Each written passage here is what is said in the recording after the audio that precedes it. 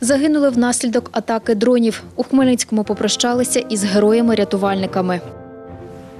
В університеті третього віку з'явився новий факультет. Що викладають і чому бажаючих більше, ніж парт в аудиторії. Священик з Хмельниччини будує храм Небесної Сотні.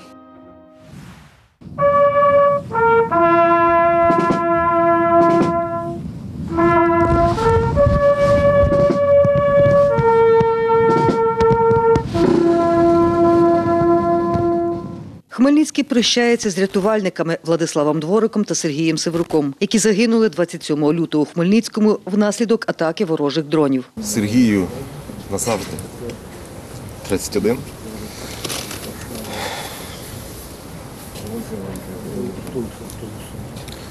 Владиславу назавжди 21. Невмо- Невимовна біль втрати для усієї пожежно-рятувальної родини, як Хмельниччини та всієї України.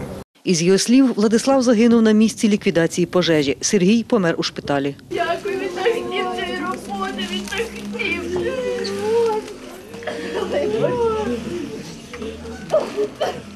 Фатальну ніч чергувала, з ними заступила на чергування. Я диспетчер першої перші.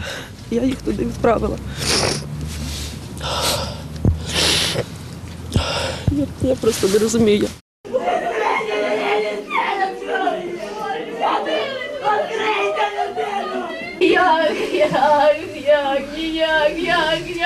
Нашого хлопчика, нема. Хлопці,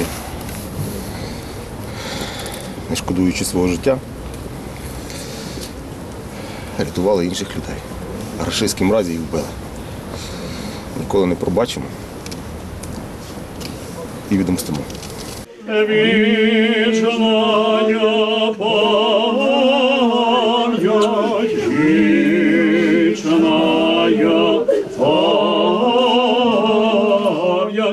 Влад е, зробив, освічився своїй дівчині Діані. В них мало бути весілля десь через, не знаю, може через місяць.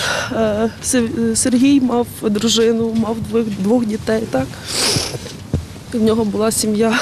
Нагадаю, пожежу, що виникла внаслідок нічної атаки ворожих дронів 27 лютого, ДСНСники ліквідовували кілька годин. Поховають Владислава Дворика та Сергія Севрука на кладовищах їхніх рідних Дережнянської та Берездівської громад.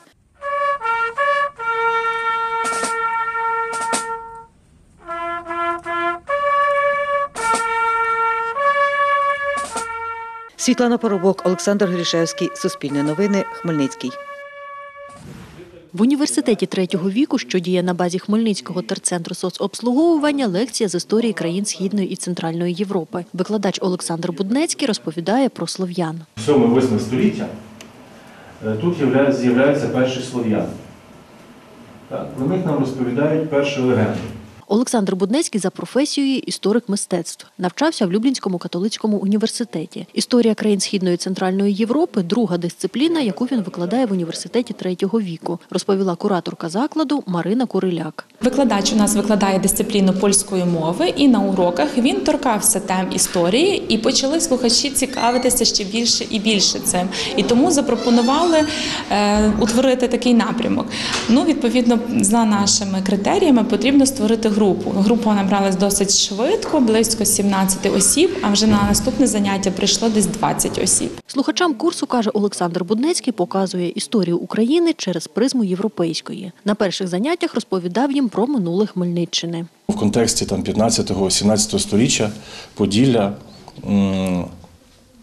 воно відігравало роль прикордоння, так і називали по-різному, називали Барбаканом Європи. Барбакан це фортифікаційна будівля, так. Е, крім того, називали е, антімураля христіанорум, тобто підмурок християнства. Так? Тобто тут е, два світи зустрічались: це світ Сходу і світ Заходу. Одна зі слухачок університету третього віку Ждана Тимофеєва розповіла, історією країн Східної Центральної Європи цікавиться давно та раніше не мала можливості її вивчати. На заняттях каже, не лише розширює свої знання, а й досліджує родовід. У мене є підозра, що в мене е, предки були певно поляки, бо в мене і прізвище у них Мазури.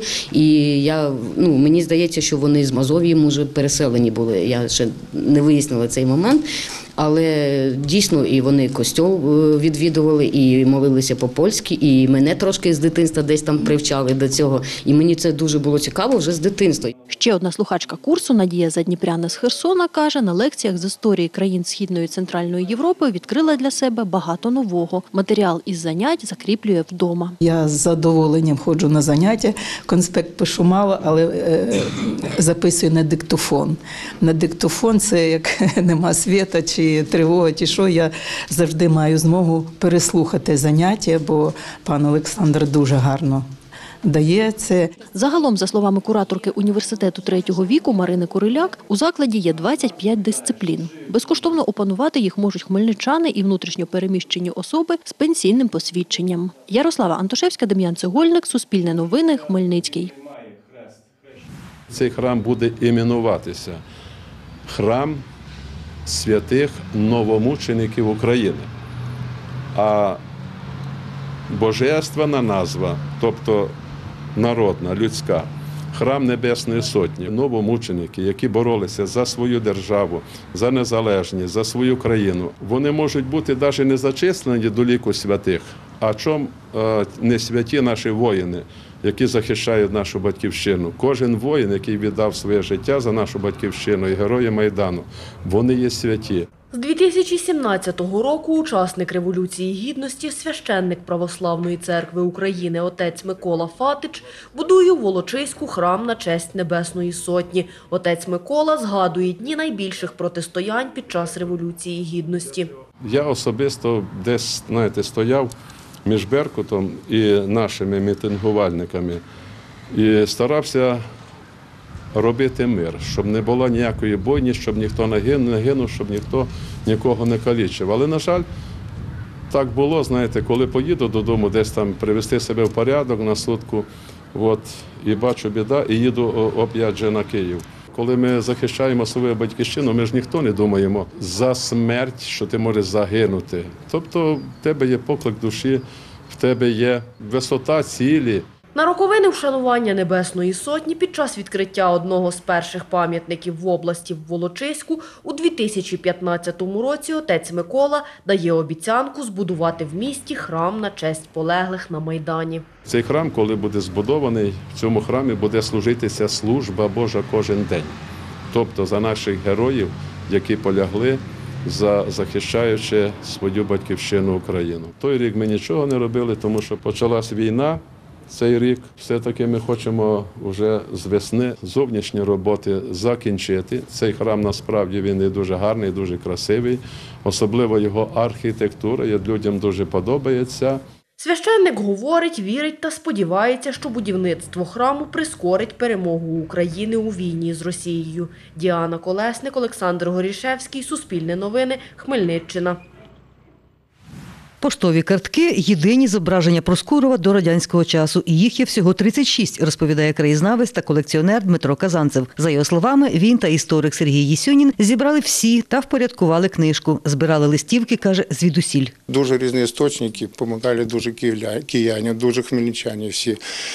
Наші хмельницькі колекціонери давали свої листівки, що ми сканували, що ну, давали описання і так далі. Із його слів, деякі листівки друкували в Проскурові, деякі в Кам'янці-Подільському та за кордоном. Дві листівки печатались аж э, в Стокгольмі, Шве- Швеції, то це вважається вау вообще. Із його слів, ці листівки із зображенням Проскурова до 1917 року серед колекціонерів коштують дорого. Наклад був дуже маленький, по-перше, а по- по-друге, у нас ма- маленьке повітря містечко було, що це ж не, не, опять же, не Кам'янець, ни Київ, ни по- по- поэтому вважається раритетом навіть для, серед колекціонерів. Це не лише як предмет колекціонування, хоча деякі листівки, от наші проскурівські, ну, коштують декілька тисяч гривень, як мінімум. Для істориків, е, передусім, це цікаво тим, що в нас немає фотографії кінця 19-го, початку 20-го століття, а місто ми можемо побачити лише на от тих листівках. На листівках в основному вулиця Олександрівська, Кам'янецька, храми та навчальні заклади. Перше видання це 1900 рік.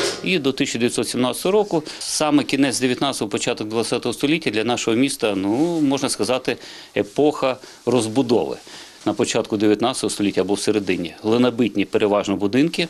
Наприклад, в 1802 році у нас було всього сім мурованих будинків на все місто. Всі інші глинобитні, дерев'яні.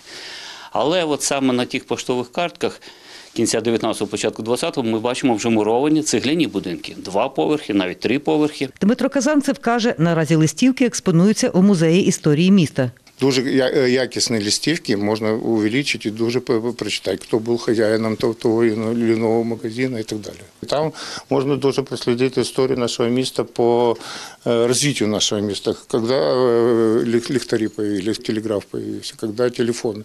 Показати старовинні поштові картки з зображенням Проскурова та розповісти про історію населеного пункту краєзнавці прийшли в Криївку Стінка. Організаторка дозвілля центру Плоскирів Ольга Шевцова каже, охочих виявилося саме стільки, скільки вміщає Криївка, бо тема цікава. Місто, яким ми його бачимо сьогодні, воно відрізнялося від того, яким воно було понад там 100 років назад.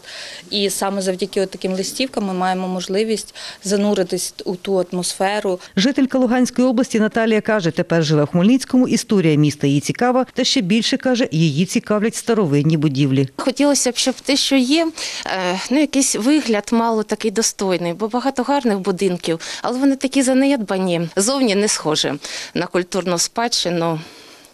І плакати хочеться через це. Сергій Єсюнін каже, не всі старовинні будинки збереглися, та деякі функціональні дотепер. Світлана Поробок, Юрій Чорний, Суспільне новини, Хмельницький. Більше новин Хмельниччини шукайте на нашому офіційному сайті суспільне.медіа, де у розділі регіони обирайте Хмельницьку область та на офіційних сторінках у соцмережах Facebook, Viber, Telegram, Instagram та YouTube каналі.